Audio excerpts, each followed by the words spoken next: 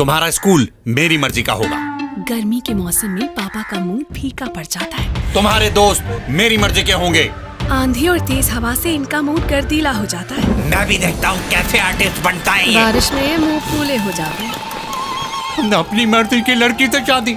सर्दियों में ना इनके चेहरे पर क्रैक्स पड़ जाते हैं जिससे ये भी थोड़े क्रैक बिल्कुल हमारे घर के बैरूनी पेंट की तरह। अब मास्टर पेंट्स की बजाय गैर मायारी पेंट करवाओगे तो मौसम के साथ बाहर की शख्सियत पर असर तो पड़ेगा ही ना, क्योंकि बदलते हुए मौसम बैरूनी दीवारों पर खास असरात छोड़ जाते हैं। शदीद गर्मी से रंग फीके पड़ जाते हैं। तेज हवा और आंधी घर की बैरूनी दीवारों पर गर्दो गुबार का बायस बनती है। बारिश और नमी से फंगस नमूदार हो जाती है और सर्दियों में पेंट की सतह पर क्रैक्स पड़ जाते हैं।